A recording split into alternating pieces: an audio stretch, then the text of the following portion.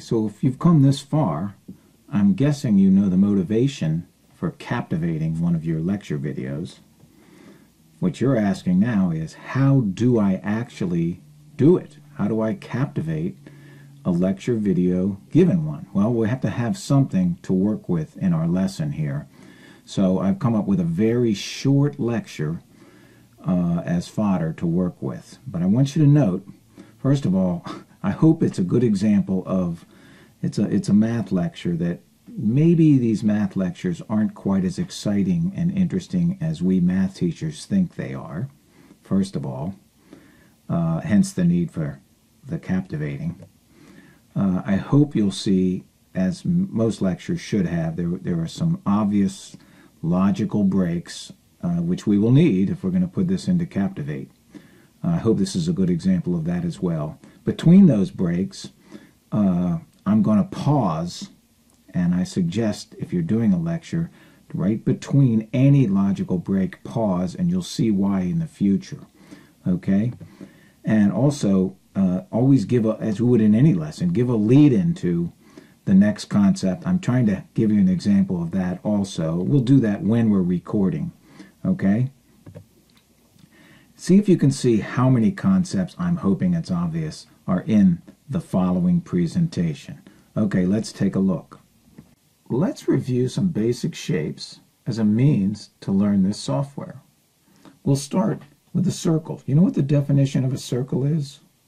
A circle is not just some round thing, It's a shape consisting of all the points in a plane that are a given distance from a given point, that given point being the center.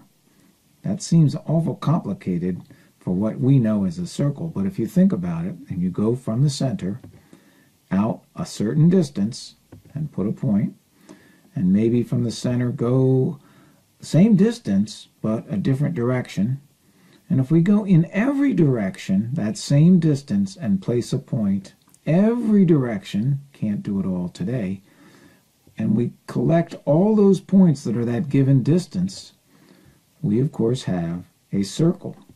And by the way, the center is not included in that circle because he's not that distance. He's zero distance from him. Okay? So that's basically the definition of a circle. Let's look at some sided figures. We'll start with the triangle. Definition of a triangle is a plane, a flat if you would, figure with three straight sides and three angles. You probably knew that. There are special triangles. For instance, if all three sides are equal, we have an equilateral triangle. And if there's a 90 degree angle amongst them, it can only be one, or it wouldn't be a triangle, we call it a right triangle. Ha happens very often in construction. So if we go from three sides to four sides, what are we talking about? Well, we're talking about, you thought I was going to say square, didn't you? We're talking about a quadrilateral. If all we're saying is it has four sides, the only thing we know of, this figure as you see has four sides, it's a quadrilateral, a polygon with four edges and four vertices. Happens to have four angles, of course. Now, if those four angles are 90 degree angles, you know it, a quadrilateral with four 90 degree angles as a rectangle. Now, if that rectangle has all four of the sides the same, and of course, to be a rectangle, it had 90 degrees at each corner. It would be, as you know, a square. That A square is a very, very special quadrilateral. So there's your review of basic shapes. So what I've done now is I've taken this long lecture, recorded it, of course, as a MP4 or some sort of video file. And here it is. I call it basicshapes.mp4. And using an editor, I broke it into the three logical parts, circles, quadrilaterals, and triangles. Probably most people will record those three separate mid uh, sub lectures, if you would, separately. I, I, I make so many mistakes that I have to do them and then combine them if I wanted to also uh, using the Captivate. So either way, but we're going to have to have, before we start getting into Captivate, we're going to have to have these sub-lecture files, if you would, that are video files. Now, let's get into Captivate. So we'll go into, usually it's in a folder called Adobe, and this one's Adobe Captivate, and I'll start it up. It's a huge software, so it takes a while to load. And what I'm about to show you probably is one thousandth of what this software can do. But let's say we're going to start a new file. We're going to start with a blank project. And let's see what we got. Okay, let's go. Now this software is a lot like PowerPoint in that your production is divided into slides. Uh, they have what they call the film strip over here on the left. That's your slides. Uh, before we start working with those, let's get ourselves comfortable uh, in, a, in a good uh, Zoom, if you would. What I would suggest you would probably do every time, we're going to need something that's not in PowerPoint called the timeline. If we click down on the bottom and click on the word timeline, it'll show us the timeline and we'll be talking about in, the, uh, in, in a minute. But since we brought the timeline up, we're probably zoomed in too close. So I'm going to uh, kind of have it set the zoom properly for us. I'm going to go up to View in the menu and Magnification. And I am this lazy, I don't want to guess, so I'm going to say, give me the best fit based on what I have on the screen right now. And there you go, I'm going to get that. So that's kind of the way I'd like to be set before I even begin. Now this, as you may recall, is going to have three uh, slides, uh, one for circles, one for uh, quadrilaterals, and one for triangles. But we're going to have need those three, but we're always going to have a, a title slide, and I'm going to suggest to you an ending slide. So we're going to have five slides in this production. Uh, the middle three are going to be the videos, and we'll uh, create those. But let's start with what we call the title slide and put some sort of a title in here. Okay, so I'll double click on that. And as soon as I double click on any object, it's going to open up a pane, uh, P-A-N-E, of all the formatting options for that object. Okay, and I'm sure you can figure that out. I'm not going to go through all of them. You know, the, the, the font, the size, the various things. Let's just put in the name for this. Okay, and we could change the color and all sorts of things, but, but we're not going to do that today. Okay, and I'll click out of that. And now you have a title slide, and you have to have a way to get to the uh, next slides, the videos. And this is where it's going to get very interesting for you. Let's uh, create something that uh, basically PowerPoint, well, PowerPoint has it, but it doesn't have it. Most people don't know this. And that's going to be a button that allows you to advance. The buttons is always going to be under the menu Interactions. So if you go to the button bar here where it says Interactions, you see there's all kinds of interactions that I'm not going to going to teach you. I'm only going to teach you the button. So we're going to select the button and come down and son of a gun, it puts a button. It didn't know where to put it, put it right in the middle. And I'm going to drag that over here. And just like uh, the text shapes, it opened up a pane to format the button. And I'm going to take a minute just to do that. Now, what would I want that button to say? Most of the time, I'm going to go to the caption. I could click in it, but I'm going to go to the, the caption right here. And I'm going to have that say the word continue. So when the person clicks on it, they will continue. And I certainly want it bigger than that. So I'll come down here and maybe make the font, I don't know, 45. Okay, and when I do that and click over here, I see that it's way bigger. And I'm going to, okay, move it around, resize it. And there's, I can change the color, I can change, let me just do that real quick just for a laugh. Okay, Okay, so that's the, and but there's so many options you can change, and I'm not going to take the time to do that. So I have this button, the continue button, and I suggest you to always have it in the same place all the time. That way, the user will always know where it's going to be, and they won't be surprised uh, when it pops up at basically at the end of every video. Put it anywhere you want, but put it at the same place. Okay. Now, let's go to our next slide. Well, now it's not going to be a title slide. We're going to use the insert menu up top here, fourth one, insert, new slide. Okay, and I want this one to be a blank one. And there goes the blank.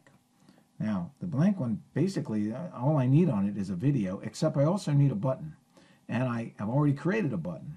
So what I'm going to go up here to the previous slide, select that, copy it, and then come down here and paste it. And it'll be all, all the work that I've done before, you see, I won't have to do again. In fact, what I suggest to you, this second slide, second, third, and fourth slide are going to be video slides. So I'm going to take that whole slide now and copy it, copy, and I'm going to paste, guess how many? I'm going to paste two more. So I'm, I'm rolling through this show, huh? Now, the last slide is going to be uh, a type of, basically a title slide. It's going to have a code on it that the person can give me to prove that they did the, uh, the uh, whole presentation. So I'm going to copy the title slide this time, and it's not going to have a button. So let me go copy, and I'll come down here and paste. And there it is, last.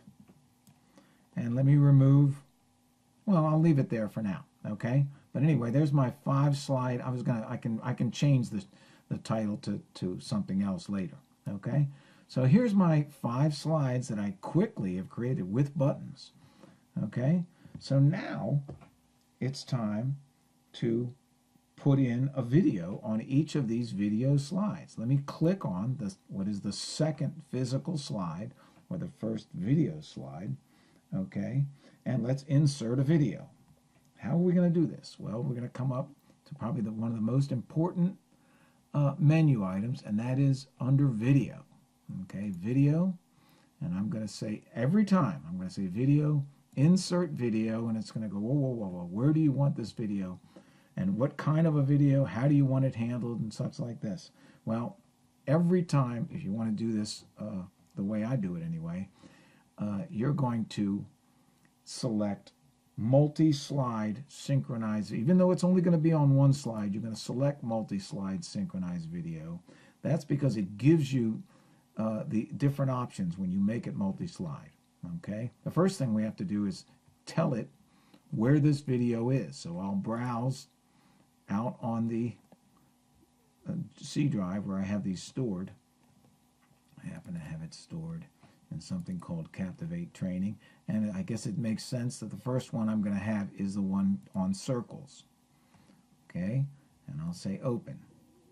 Okay, now the other thing, I don't want it to distribute uh, across multiple slides. I only want it to accommodate this slide. So it's going to have to make this slide exactly as long as the video is. And it can do that if I click on Modify Slide Duration to accommodate video. Okay, now when I do that, well, you're going to see the timeline, all this stuff down here is going to change. Okay, but you don't got to worry about it because it's going to be automatic. Okay, so we'll do that and click on OK. And boom, everything changed, didn't it? Okay, now my zoom is not very good here because I can't see what's going on. So I'm going to go up to change my view, my magnification, make it uh, much smaller. I don't know, I'll make it 66. Uh, I need it to be even smaller. Uh, let me go fit. Okay, and let's see. I guess, I guess it's good, but I, I want to see the whole thing. So I'm going to go view, magnification. I'm going to make it real small. There we go, three. Okay, and I can see. Okay, Now, you don't see the button anymore, do you? That's because what's going on, now let's come down to our timeline. Our timeline kind of shows you where things are three-dimensionally and where they are four-dimensionally. You see where it lists what each of these items on your slide. There's the whole slide, there's the button itself, and there's the video that I just inserted. Now notice that the button is underneath the slide video. So if I grabbed it and moved it up here, it would be above it. So you see what I'm talking about, three-dimensional? Okay, if I move it down here, it's underneath. Okay, so the kind of the z-axis, if you would, is going from top to bottom here, but I want it on top. Okay, now the other thing about the timeline, and this is where it's very different from PowerPoint, is that it's four-dimensional. Four-dimensional. What is, you calculus weenies know that the fourth dimension is not x, y, or z, but time. Okay? And these length out things here are what's going on and how long they're going. Apparently this slide video is 69.9 seconds, it's telling me, as is the slide itself because it accommodated that. Well, I, I don't want the button to come up until the video is over. So what I have to do, and you'll have to do this a lot, is drag, oop, I dragged it down, gotta keep it up top. It's gonna take a while, drag it, see how I'm dragging it to the end of the video. Now maybe there's an automatic way to do this, but I cannot find it. okay, now I went too far, so I see how far. Now what I'm trying to show you here is the button comes on in the last second after the end of the video, which is this middle stripe here. Okay? And that slide is basically done. But I, uh, I see that uh, the button's on top, but it's not going to be on top until the video is over. Now the way buttons work, when the user goes to run this video, the button will come up as you see at the end of the video and it will wait till either hell freezes over or the user clicks on continue. That way they can't start the video and go to the kitchen for a sandwich and come back. They, they, they have to click every once in a while and pay attention to the lecture. That's the point of, of basically of Captivate. Okay, now let me go through that process one more time quickly on the next slide, the next video, which will be the second video, okay? It's the third slide, but the second video slide, if you would. So I click on that slide. It's blank slide, but it has the button. And let's remember, we go Video, Insert Video, and I want the multi-slide, even though it's only on one slide. And I'll browse, and this time, I don't want circles. This time, uh, my next one is triangles, you may recall and I always want to modify the slide duration to accommodate the video. I want it to be just as long as the video and then I'll pop up the button. Okay, so make sure you switch it to that. And I click on that and kind of confusing, isn't it, that it says circle, but remember the beginning of the triangle uh, video is the uh, end of the circle video. Okay, so I'm going to resize this so that it's correctly on the screen. I still don't see the button though. Well, where is the button? Look, I think it helped me out and put it at the end. And I'm going to come bring it back.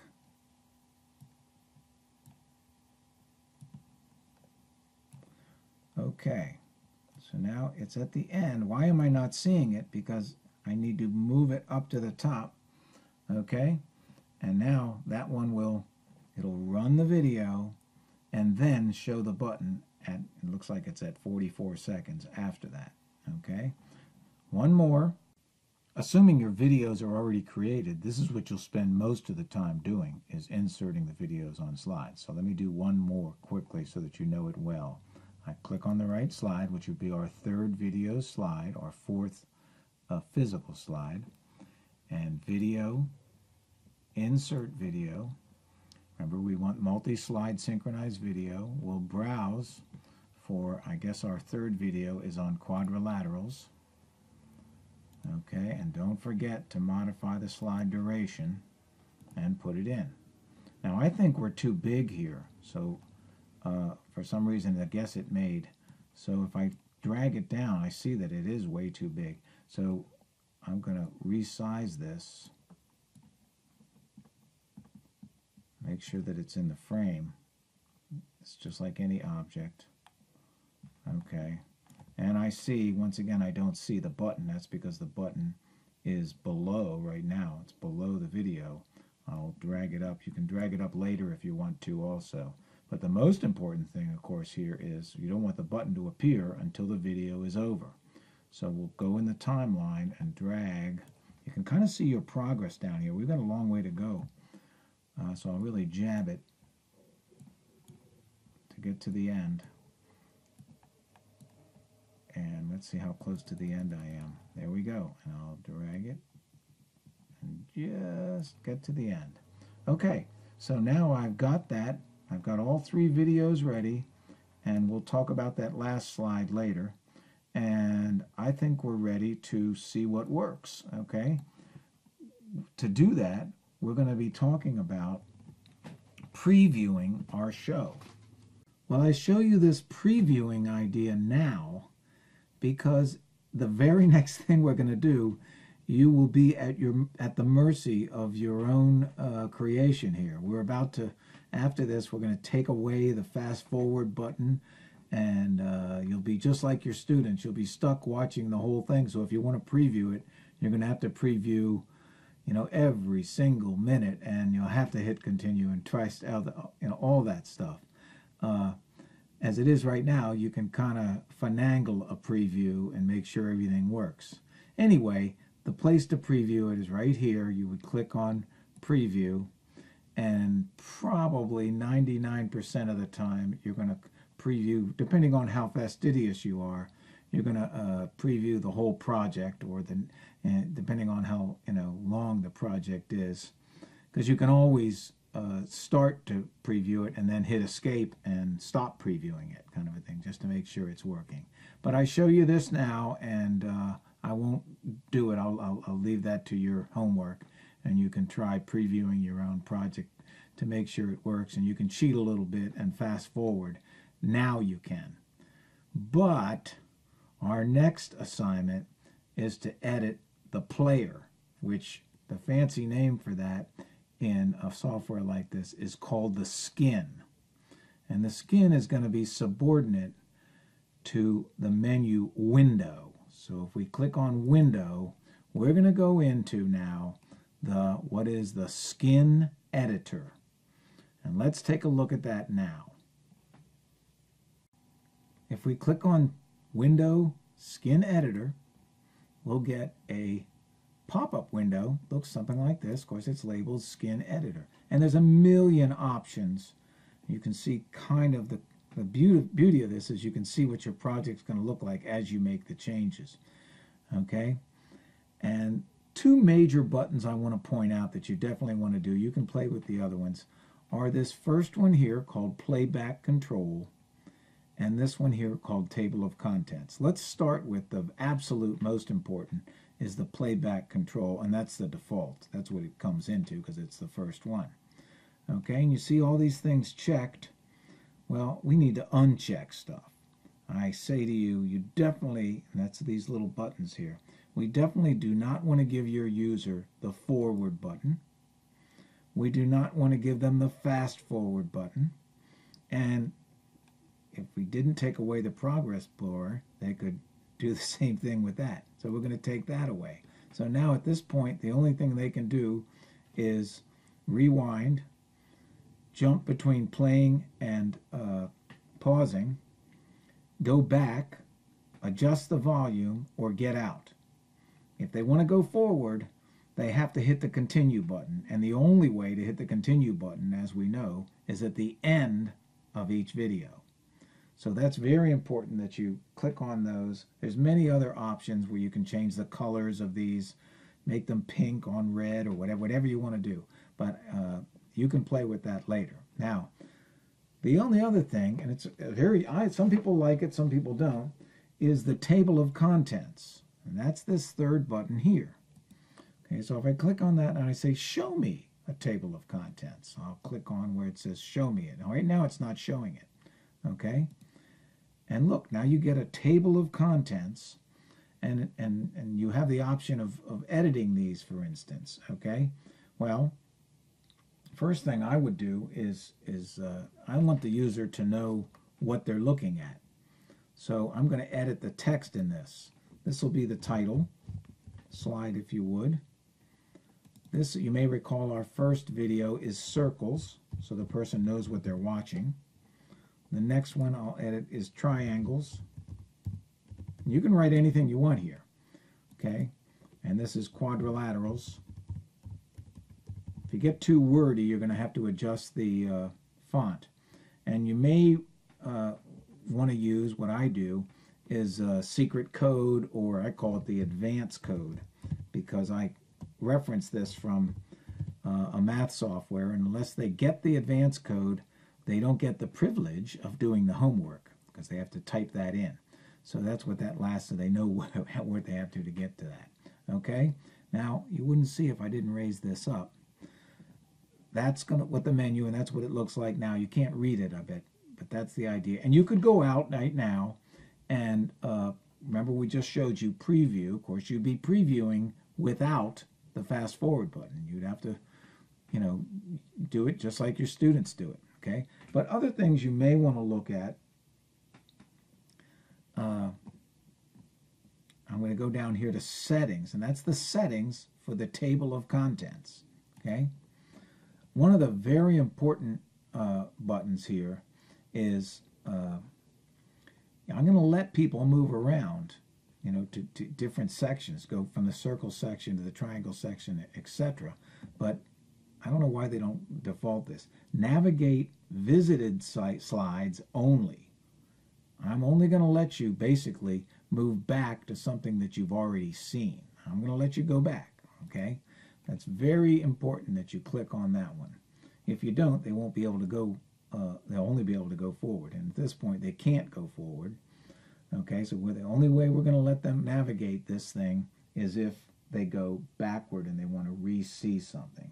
Okay, um, there's again, there's many other options. Uh, most of them are, are color and text and such like that. But that's kind of the idea of what we have here. And when I close out of this, I guess I have to raise up my, I say okay and I will exit out of that. I X out of the skin editor. Now let's take a look using our preview at what we've got going here. I'm going to preview the whole project.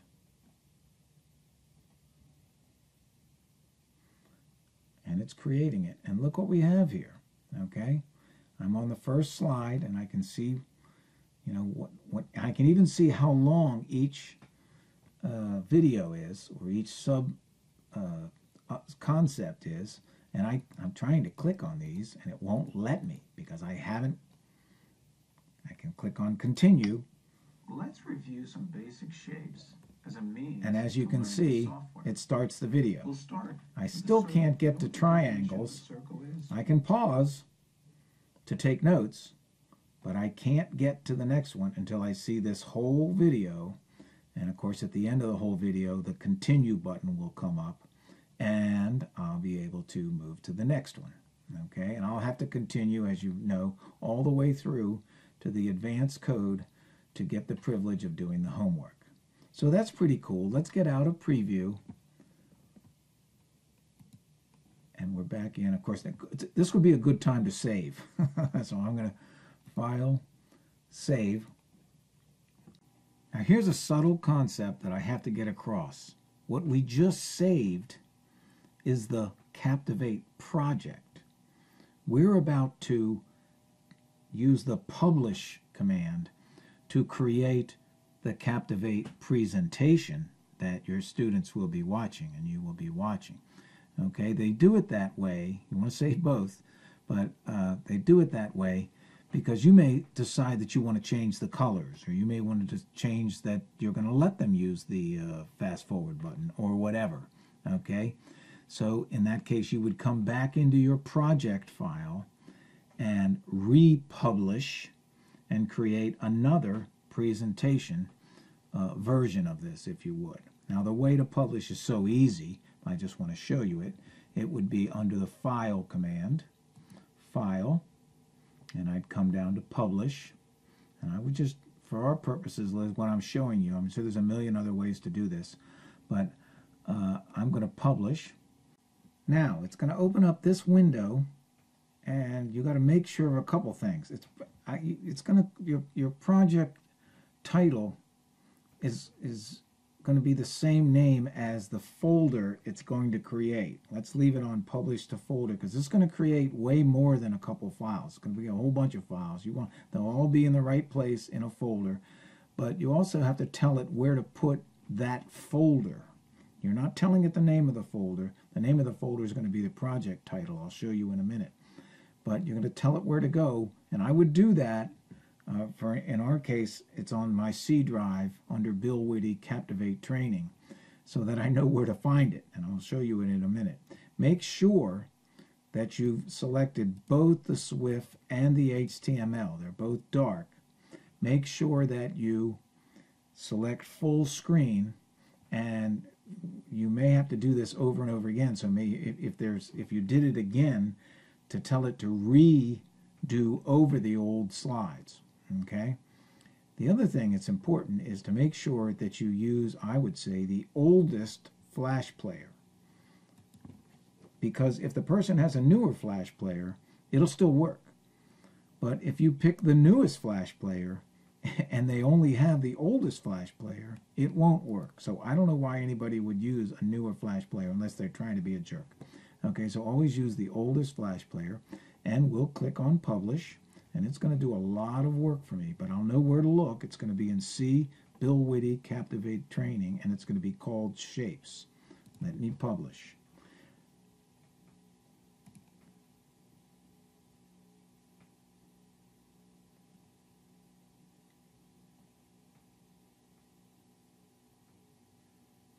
And it it said it completely completed it successfully. Do I want to look at the output? And that would be like reviewing. I'm not going to do that right now because I'm so interested in showing you the file. So I'll say no. And let's go to our file manager and look at this place where we have all, you know, the place. This is C, Bill Witte, Captivate Training. This is the folder that I, I had all these things. Now, this file right here is my project. If I needed to redo it, uh, which I do, I'm going to reopen that project and then republish. The publishing created this folder called Shapes. And if we open up Shapes, we see all this stuff that it created. You don't got to get all worried. What the one you have to worry about is it's called index.html. And if you reference index.html from a browser, I'll start it son of a gun, it will start, as we told it, to start full screen, it will start my project. Okay, so that's the one you would reference, just all the, the whole folder, and then reference from a link the, the uh, file called index.html. Okay, let's get out of there. And I just noticed something that if we go back to our project, son of a gun, when the student gets to the end, they're supposed to get the magic code and they didn't get it. They're going to be awful mad, okay? So at the end, let me republish this.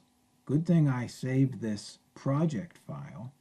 I'm going to get rid of the button because they have nowhere to go, uh, that last uh, slide. I'm going to select that and delete it. And then I'm going to put in what I typically do is some magic code. Uh, drink your Ovaltine. Or, uh, let's see, X453VG. Okay, I don't think they're going to copy that one. And now I need to, of course, republish it. So I'll go File, Publish, Going to put it on the same place. Going to overwrite the old one. I'm going to leave all the same settings and publish. It says you it already exists. Do you want to re-overwrite it? Yes, I do.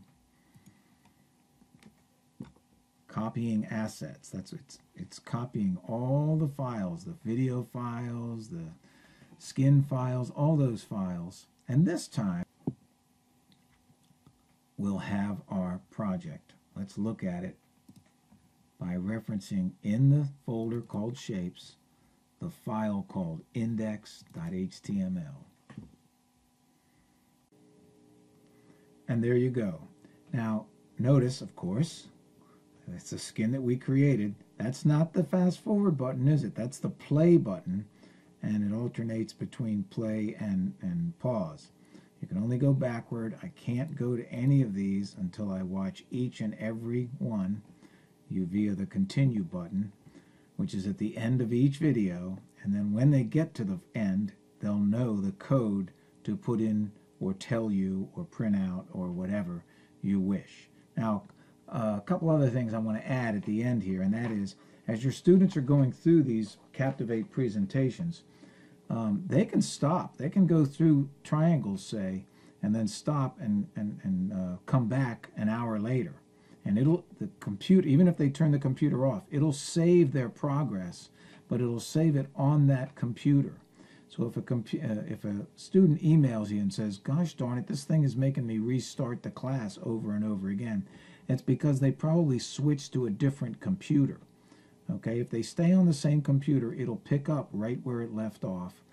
Uh, they won't be able to go go forward, but they can uh, they can you know go backward or whatever. But they must watch the videos and and hit continue every once in a while, and they must go to the end of the class. I hope that helps. If you have any uh, questions, by all means, uh, don't hesitate to email me. Good luck.